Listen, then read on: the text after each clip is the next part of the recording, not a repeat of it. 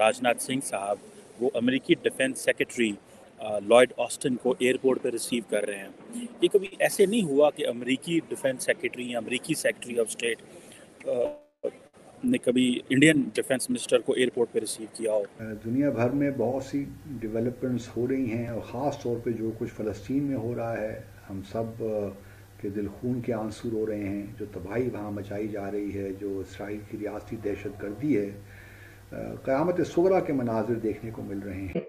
Mister Blinken और secretary defence Lloyd Austin New Delhi पहुँच चुके हैं। इस डायलॉग में इंडिया और यूएस के बीच क्या होने जा रहा है? वहीं पर ताइवान की तरफ़ से इंडियंस के लिए एक लाख जॉब्स निकाली जा रही हैं। नेक्स्ट मंथ एक लाख इंडियंस ताइवान में जॉब्स हासिल कर सकेंगे तो दूसरी जानब इसराइल गजा में रोज़ाना चार घंटे बमबारी रोकने पर मान गया है। अमरीकी सदर जो बाइडन ने कहा कि इसराइली वज़ीर अजम ने तीन रोजा जंगबंदी का मुतालबा मुस्तरद कर दिया।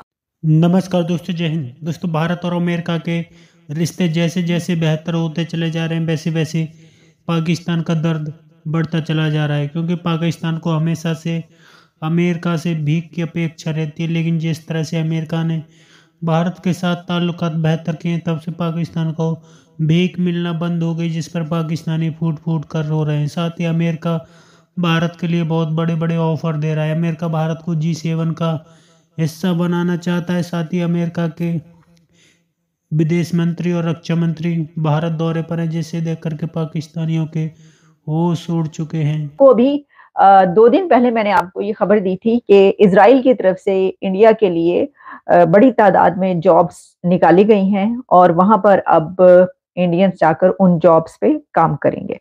तो उसी के साथ अब एक खबर ये आई है कि India plan Taiwan labour supply pact और ये इस दौरान हुआ है कि जिस वक्त जो चाइना टेंशन हैं, वो इस वक्त उभर के सामने आ रही हैं। तो उस दौरान इंडिया ताइवान एम्प्लॉयमेंट एग्रीमेंट हुआ है और उसमें ये कहा जा रहा है कि नेक्स्ट मंथ दिसंबर में 100,000 इंडियंस जो हैं वो अप्लाई कर सकेंगे ताइवान में जॉब्स के लिए। यानी ताइवान ने एक लाख इंडियंस के लिए अपने मुल्क में उस जगह पर जॉब्स निकाली हैं। और दिसंबर नेक्स्ट मंथ में जो है ये जॉब्स के लिए वो जा सकेंगे। तो इससे पहले इसराइल की तरफ़ से, अब ताइवान की तरफ़ से, लेकिन क्योंकि ये जो चाइना के टेंशन की बात की जा रही है तो जहाँ इसके बीच जो है वो चाइना की उसमें जो है, यकीनन एक किरदार है, क्योंकि ताइवान जो है, आप जानते हैं, और चाइना के जो ताल्लुक हैं, उनको भी आप जानते हैं। तो इस वक्त कहा यह जा रहा है कि जो इकोनॉमिक टाइज हैं, ताइवान और इंडिया के बीच वो हमें नज़र आ रहा है कि दोनों तरफ़ से उसको फोर्स किया जा रहा है और अब प्लान जो है वो tens of thousands of workers to island Indians जो हैं वो उनको सेंड किया जाएगा वहाँ पर काम करने के लिए। और ये जो एक चीज़ है वो तो ठीक है हम देखते हैं कि पूरी दुनिया में ही जो है वहाँ से आ, लोग जा रहे हैं काम करने के लिए और काफ़ी बड़ी तादाद में जो जॉब्स हैं वो निकल रही हैं इनके लिए। अमेरिका में भी काफ़ी ऐसे वीजास जो हैं एम्प्लॉयमेंट का वीज़ा या वर्क उसके लिए जो है वो भी काफ़ी खबरें इससे पहले आती नहीं जो हम आप तक पहुंचाते रहे।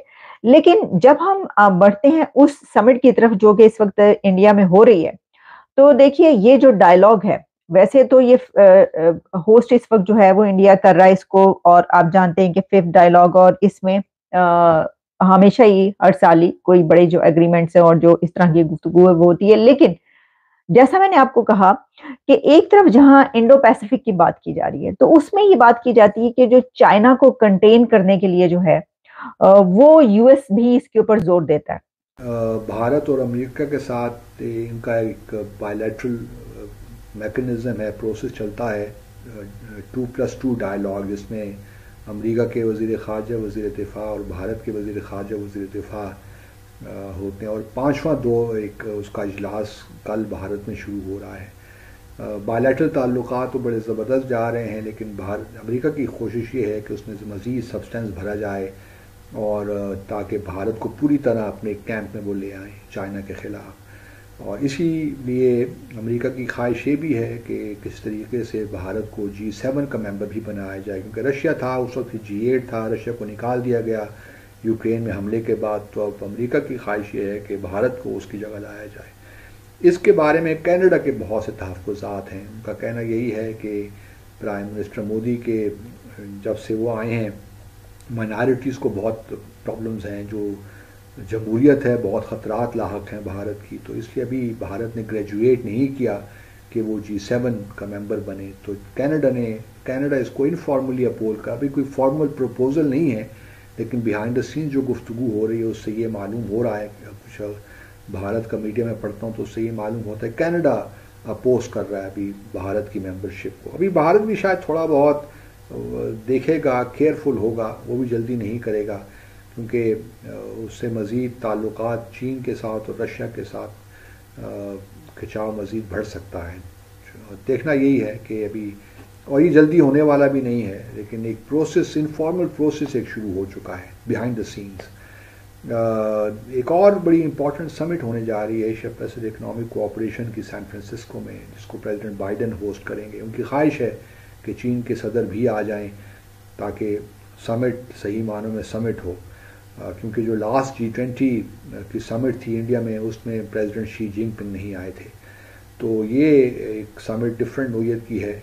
लेकिन देखना यह है कि आया शी जिनपिंग आते हैं कि नहीं आते, उन्होंने भी कोई फॉर्मल अनाउंसमेंट अभी तक नहीं हुई चीन की जाने से। लेकिन आप ये अंदाज चेक करें, वो कैसे मिल रहे हैं जप्पी डाल के, गले डाल मिल के, ऐसे जैसे बड़े पुराने यार ने, जैसे पता नहीं कोई सदियों से बिछड़े हों, लेकिन आप ये इंडिया की ये जो कल्चरल डिप्लोमेसी मैं ऐसे कहूँगा बिकॉज़ नॉर्मली ग्लोबली आप इस तरह लीडरशिप से नहीं मिलते जिस तरह इंडियन लीडरशिप देख के मिल रही है। नरेंद्र मोदी के बारे में भी मशहूर है कि वो सीधे ही जाके बंदे को पकड़ लेते हैं और जिससे कहते हैं जप्पी डाल लेते हैं। डिफेंस मिनिस्टर भी अगर लॉर्ड ऑस्टन को रिसीव कर रहे हैं तो सीधे जप्पी डाल दी है। मुझे ऐसे लगता है कि ये इंडियन गवर्नमेंट ने एक नया कल्चर इंट्रोड्यूस कराया है और ये महसूस करवाना कि यार, असी बड़े पुराने तलक ने साढ़े। ये देखें ये है अमेरिका की पावर एक बात। दूसरा अमेरिकी जब आते हैं तो इंडिया उनको ऐसे रिसीव करता है because there is so much on the plate with the American which they have to share with the Indian so वो समझते हैं कि वो एक टच इनको देना ज़रूरी है इंडियन समझते हैं। जबकि दूसरी तरफ़ पाकिस्तान की वही राम कहानी है, वही हम कहते रहते हैं पायन के, ओ बेखो जी जिसे कहते हैं ना कि यार है बड़ा जुल्म हो रहा है दहशत गर्दी हो रही है हम अफ़गानिस्तान को कहते हैं, ऐसे करें, ऐसे ना करें। और अफ़गान तालिबान जो हैं, वो दहशत गर्दों को जो है, वो अलाउ कर रहे हैं, वो चीज़ें। यार, कमाल की बात है कि अमेरिका इस खत्े में आया, हमने उसके साथ मिल के इन दहशत गर्द ग्रुपों को लड़ने की कोशिश की। And then later on we came to know कि यार, ये जो ग्रुप थे वो तो ख़त्म नहीं हुए। ये ग्रुप तो वहीं के वहीं खड़े हुए हैं। इन ग्रुपों ने तो अपनी जिसे कहते हैं ना कुछ नहीं बदला। और हम वहीं वही कह रहे हैं कि यार वो देखें आ, हम कैसे इन दहशतगर्द ग्रुपों के साथ लड़ सकते हैं हम क्या कर सकते हैं? और अमेरिका मूव ऑन कर चुका है। अमेरिका भारत के साथ एक नेक्स्ट लेवल के जाके दोस्ती जो है वो इस्टेब्लिश कर रहा है। और हम वही पुरानी कहानी सुना रहे हैं। या तो हम तब गलत थे जब हमने इस मैस को साफ़ नहीं किया, या हम आज गलत हैं, और या फिर हम इतने स्लो हैं कि हमें यह पता ही नहीं चल रहा कि इंटरनेशनल कम्युनिटी दुनिया में कैसे मूव कर रही है। और हम वही अपनी कहानियाँ सुना रहे हैं। अभी हमारे केयर टेकर प्राइम मिनिस्टर ने कहा है कि जनाब, हम डिपोर्ट करेंगे इलीगल लोगों को। साठ फ़ीसद जो दहशत गर्द की वाक़ात जो हैं, वो दो साल में हुए हैं। टी टी पी की जो है, वो havens they have havens in neighbouring country में हैं। बात अफ़गानिस्तान की बात कर रहे हैं। और ये, वो कहते हैं कि तकरीबन ढाई सौ लोगों की ज़िंदियाँ चली गई हैं। Pakistan in last two years तीन हज़ार बंदा इसकी भीड़ चढ़ चुका है। ठीक है? और अफ़गान तालिबान को पाकिस्तान ने कहा है कि पाइन यार तुम बंद कर दो हमारे और अफ़गान जो टी टी पी दहशत गर्द जमात है उनके बीच में चुन हैं बल्कि अब तो ये हुआ है कि जो तहरीक जहाद पाकिस्तान के नाम से एक एक फ्रंट ग्रुप सामने आया, जो कि Tehreek Taliban Pakistan T T P का एक फ्रंट ग्रुप है, जिसने मियाँ वाली एयरबेस पर अटैक किया और कहा जाता है कि, जिसे वो कहते हैं ना कि इनकी पंजाब के अंदर कैसे रूट्स बढ़ गई हैं।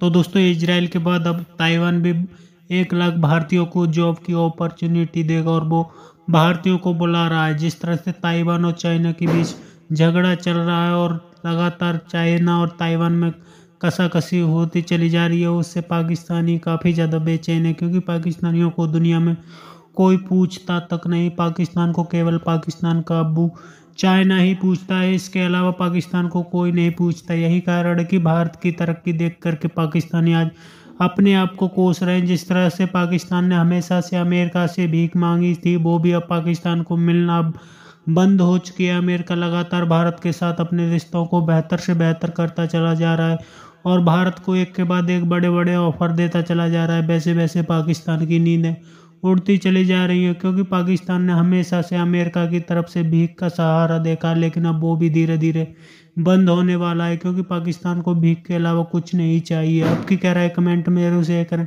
यदि आप चैनल पर नए, चैनल को सब्सक्राइब करें। वीडियो पसंद आए तो लाइक करें, कमेंट करो शेयर करें। जय हिंद, वंदे मातरम।